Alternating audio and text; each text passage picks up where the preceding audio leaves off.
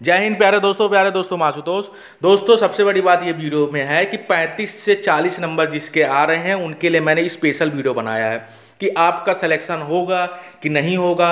अगर आपका सिलेक्शन होगा तो मैं बता दूँगा, नहीं होगा तो मैं आपको ये बोल दूँगा कि आप नेक्स्ट की तैयारी करें, ठीक है?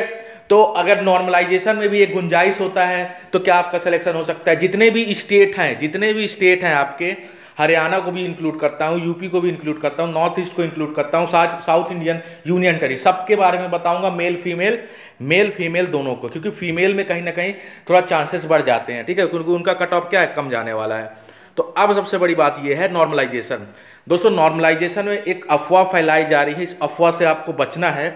लोग ये कह रहे हैं कि 18 से 25 नंबर बढ़ेगा। आप बहुत सारे यूट्यूब में आपको वीडियोज़ मिल जाएँगे, ठीक है?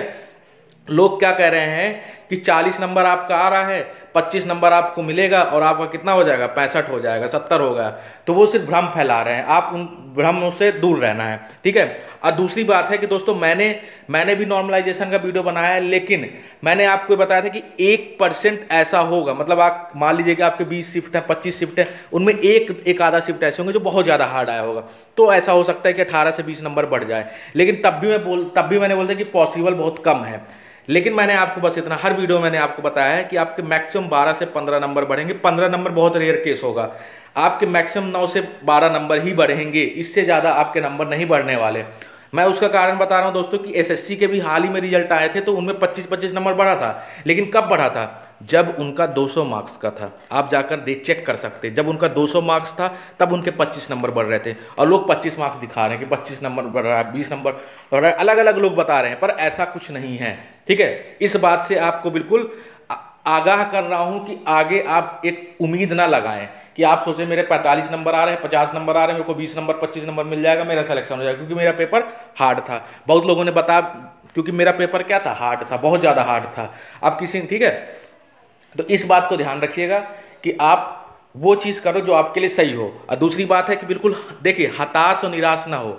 मैं आगे बताने वाला हूँ कि आपका सिलेक्शन होगा कि नहीं होगा, किस, कुछ लोग का मतलब हताश भी होगा कि मेरा सिलेक्शन नहीं होगा, कुछ उम्मीद लगाकर बैठा होगा इस वीडियो देखने के बाद। कुछ कुछ मतलब किसी का कौन मोटिवेशन होगा, कोई कॉन्फिडेंस बढ़ेगा, किसी का कॉन्फिडेंस कम होगा कि यार अब मेरा नहीं होगा।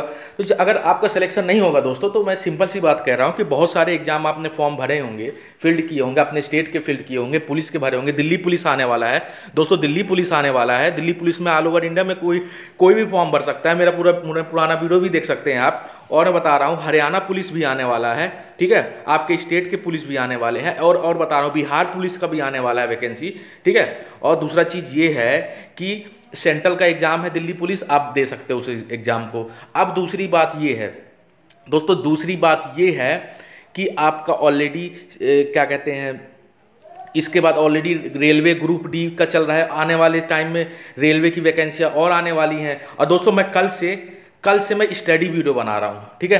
कल से मैं स्टडी वीडियो बना रहा हूँ, मैं आपसे आपसे निवेदन करता हूँ कि उन वीडियोस को ज़रूर देखें, क्योंकि आपके पास अगर कोचिंग नहीं है आसपास, आपको सही गाइडेंस नहीं है तो मैं वो टॉपिक कराऊँगा दोस्तों जो एग्ज़ाम में आते हैं।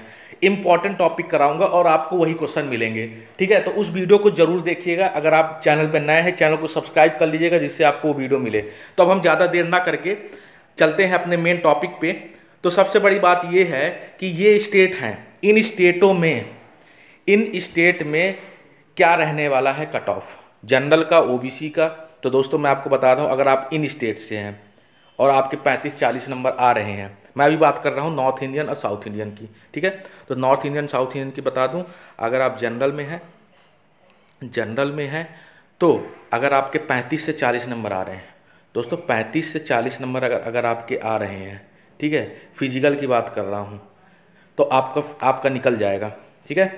आपका निकल जाएगा। इस बात को आप ध्यान रखिए, ठीक है? इस बात को आप ध्यान रखिए कि अगर आप जनरल में आते हैं और आपके 35 से 40 आ रहे हैं इन स्टेट में तो आपका फ़िज़िकल निकल जाएगा। इन स्टेट में, नॉर्थ इंडियन और साउथ इंडियन की बात कर रहा हूँ। अभी मैंने जम्मू कश्मीर उड़ीसा वेस्ट बंगाल की बात नहीं की, ठीक है? बात नहीं की। ये ये मैं फ़िज़िकल की बता रहा हूँ, ये मेल की बात कर रहा हूँ। ठीक है? मेल की बात कर रहा हूँ, अगर आपका इतना नंबर आ रहा है तो आप बिल्कुल रनिंग स्टार्ट कर दे, मैं फाइनल की बात नहीं कर रहा हूँ, केवल मैं फ़िज़िकल की बात कर रहा हूँ, आराम से निकलेगा। जल्दी जल्दी वीडियो मेरे को बनाना है। अब बचे ये स्टेट इन स्टेट में मैं मेल की बात कर लूँ। जनरल में अगर आपके पैंतीस से चालीस आ रहे हैं दोस्तों, पैंतीस से चालीस आ रहे हैं तो आपका फ़िज़िकल निकल जाएगा, ठीक है? इन स्टेट की मैं बात कर रहा हूँ, आपका फ़िज़िकल निकल जाएगा। अब बचा फीमेल की तो फीमेल की दोस्तों मैं बता दूँ अगर पैंतीस से चालीस आ रहे हैं आपके इन स्टेट से, ठीक है? कोई नॉर्मलाइजेशन नहीं है, कुछ भी नहीं है, आपका तब भी फीमेल में आराम से फ़िज़िकल निकलेगा। अब बचा फ़िज़िकल आराम से निकलेगा, ठीक है? पैंतीस से चालीस आ रहे हैं तो आपका फ़िज़िकल निकलेगा। अब दूसरी बात है कि अब आपको सिलेक्शन के लिए क्या करना है? तो सिलेक्शन के लिए बता दूँ, अगर आपका पैंतीस से चालीस आ रहा है, पैंतीस से चालीस आ रहा है दोस्तों, ठीक है? तो एक नॉर्मलाइजेशन होता है। नॉर्मलाइजेशन में अगर आपका दस नंबर भी बढ़ जाता है तो पैंतालीस से पचास हो जाएगा। पैंतालीस से पचास हो जाएगा तो आपके फाइनल सिलेक्शन इन स्टेट में बन जाएँगे। ठीक है, मैंने बहुत ही सिंपल लैंग्वेज से बता दी, आप समझ गए होंगे। बहुत ही सिंपल लैंग्वेज से मैंने आपको बता दी, आप समझ गए होंगे। अब चलते हैं हम नेक्स्ट वीडियो में, क्योंकि हमारे टाइम ज़्यादा नहीं वेस्ट करना। ठीक है, अब जो ये स्टेट हैं तो इन स्टेटों को बता दूँ।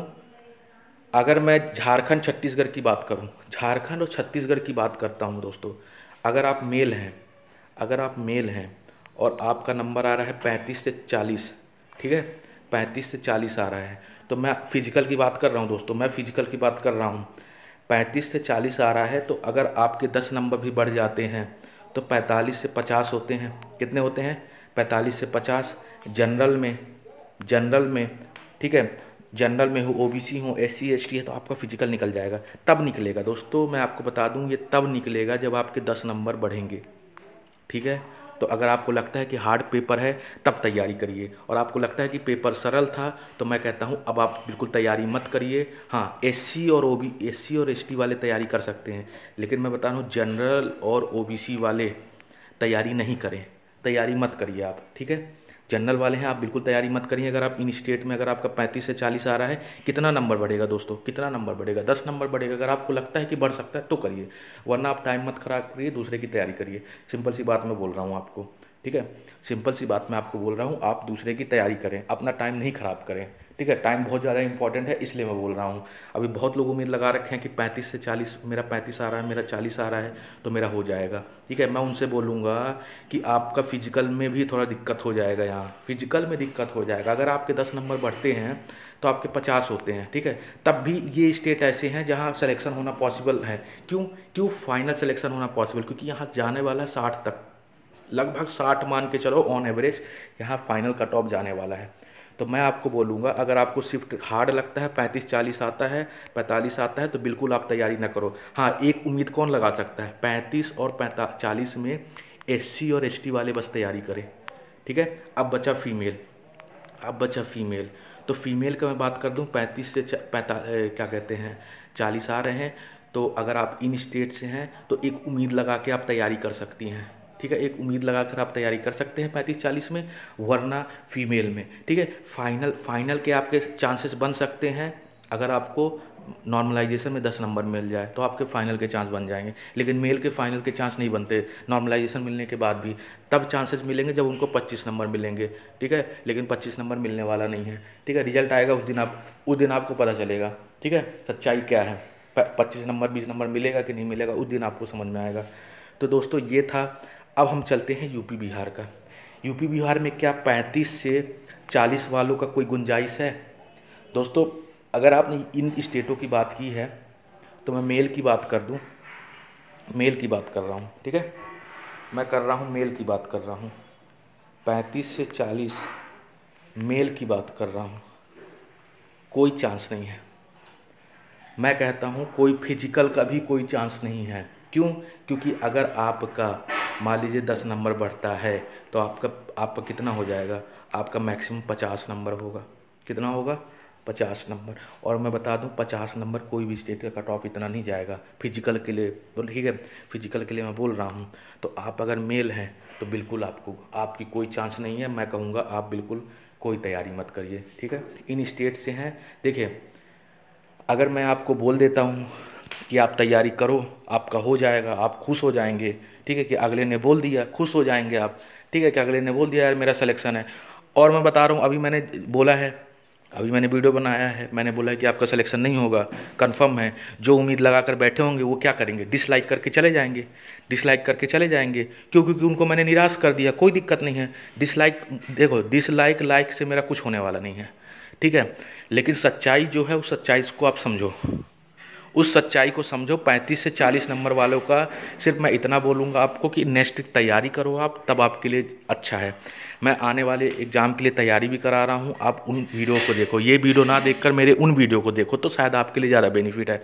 मैं कहता हूँ, अब से अब से आप जितने भी पैंतीस चालीस वाले हैं, आपको मैंने जिन जिन को लगता है कि नहीं होगा, मेरा वीडियो देखने की ज़रूरत नहीं है। ना किसी और का देखने की ज़रूरत है। हाँ वीडियो देखो, लेकिन जो मैं स्टडी वीडियो कल से बनाऊँगा, उसको देखना आप। ठीक है? तब आपके लिए समझ लो, तब समझ लो कि आपके लिए ज़्यादा बेस्ट है।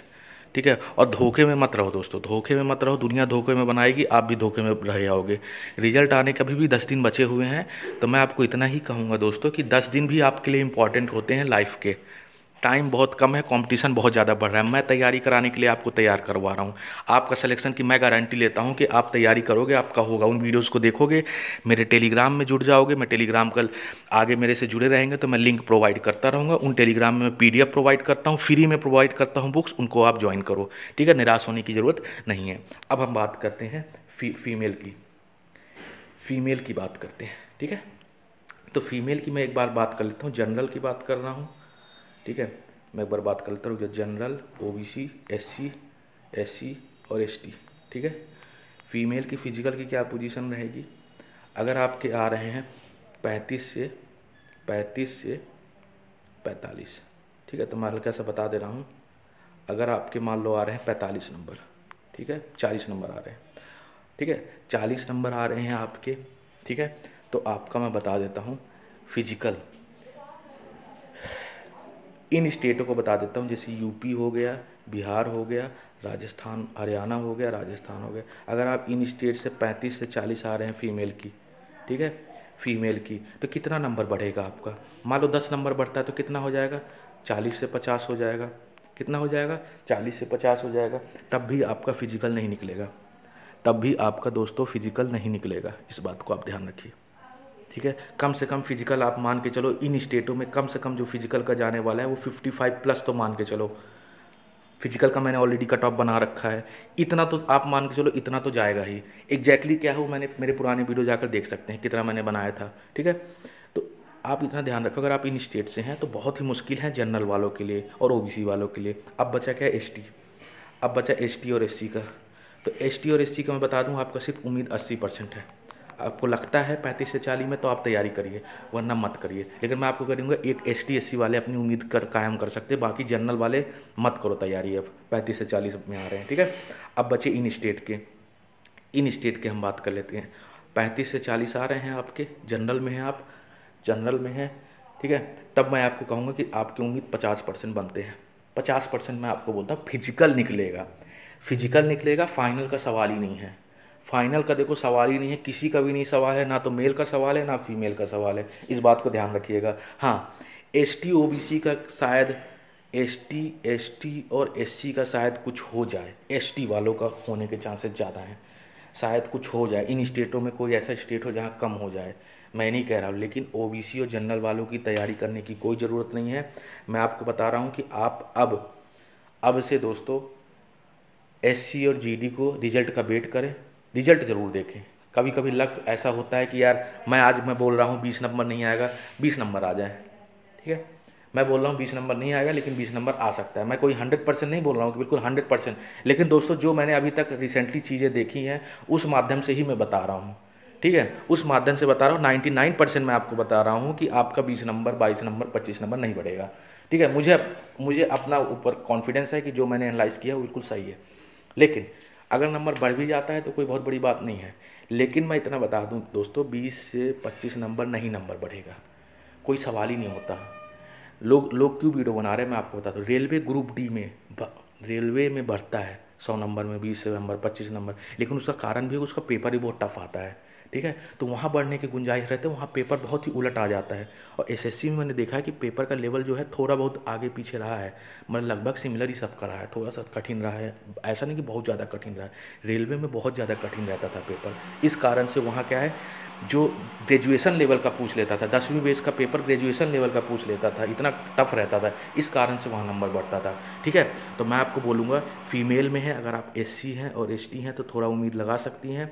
और अगर आप मेल फीमेल में है जनरल में है तो आप फ़िज़िकल का उम्मीद लगा सकती कि निकल सकता है।